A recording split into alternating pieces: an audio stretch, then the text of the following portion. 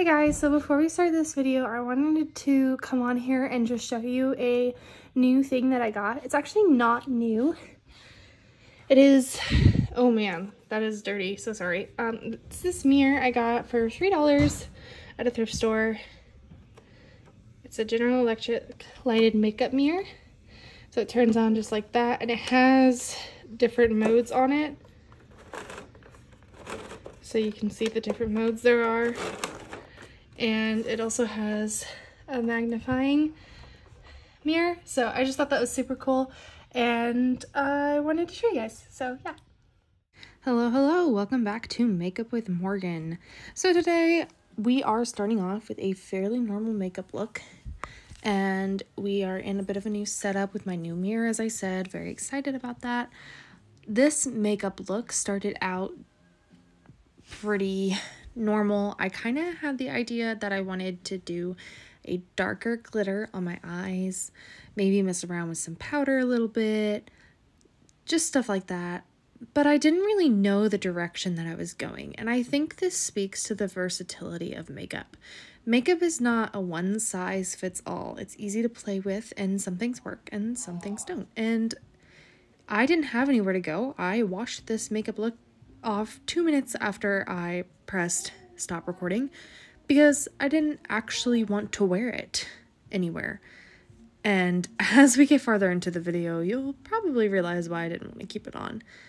But the reason that I did it, besides just for a class, is because I wanted to have fun and I wanted to express my creativity. Some of you may know that I'm an artist. I have drawn for all of my life, and I'd like to think that I'm alright at it. So I believe that makeup is an art, and you can see through this video, like I said, especially towards the end, what I mean by that. So actually today, what we ended up creating was a leopard cat look. Now, I don't do a lot of makeup art. Un think like swirlies on the eyes or or candy canes during Christmas time. I don't do a lot of that. But I've done face paint and stuff like that.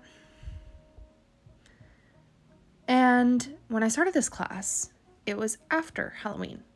And when I think of cat makeup, I definitely think of Halloween.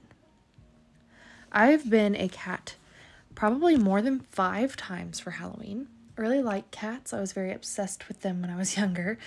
And I want to tell you a story that I will show you an absolute relic from later on in this video. But you have to wait for the end for that. When I was younger, I was very passionate about cats, like I said, and I was in this play. And this play was called At the Bandstand. It was very like an all American talent show type play. And the part that I tried out for um, was a cat because I really liked cats.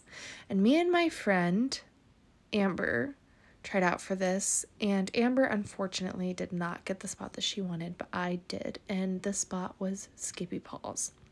So, kind of the enemy, the annoying girl, the girl that nobody really liked in the play. I mean, like, that was her part. The girl playing her is very sweet, but that was her part, right? She had this cat, and I mean, like, this cat obviously could sing, and it, like, she was just obsessed with this cat. The cat went everywhere. And so I got to follow my, you know, acting partner, if you could say that. It was fourth grade around, and I would meow a lot.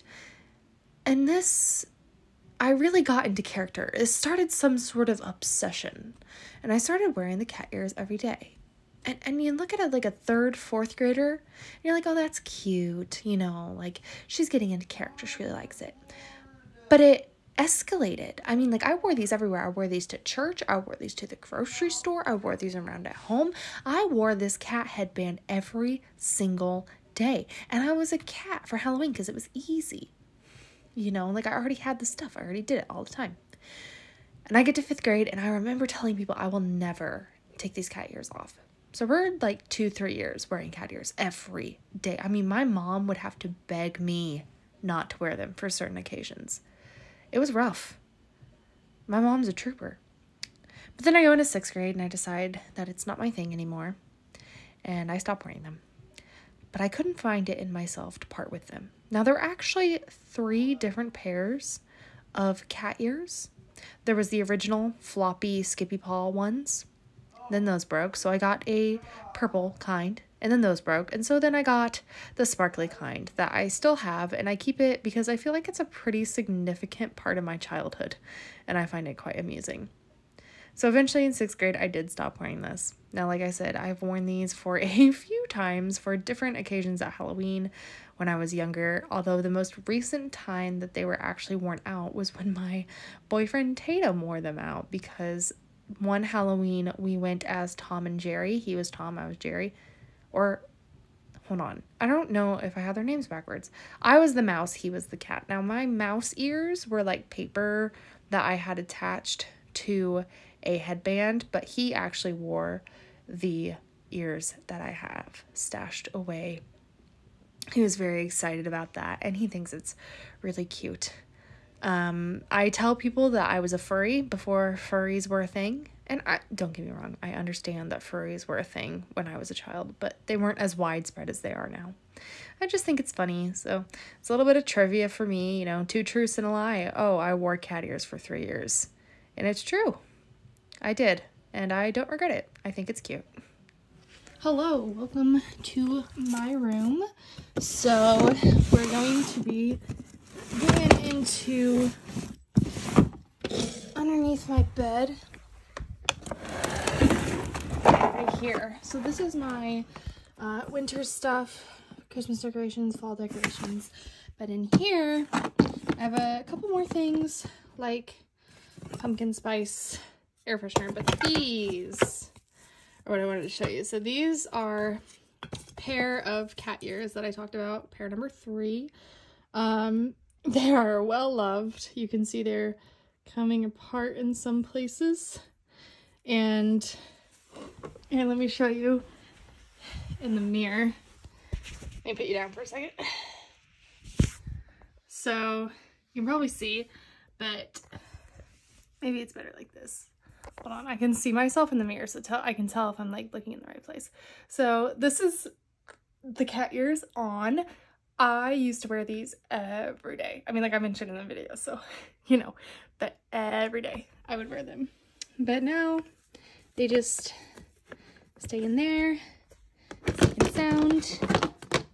And I only really take them out for like if I'm going as a cat again for Halloween, or if I need them for some odd purpose like filming a speech video. And, you know, a lot of people think that I got rid of them, but I did not. They stayed down there, and I don't know. I'm just glad that I kept them. Honestly, at my open house, I might put them out just to show them because obviously a lot of people coming to my open house will know of that time in my life.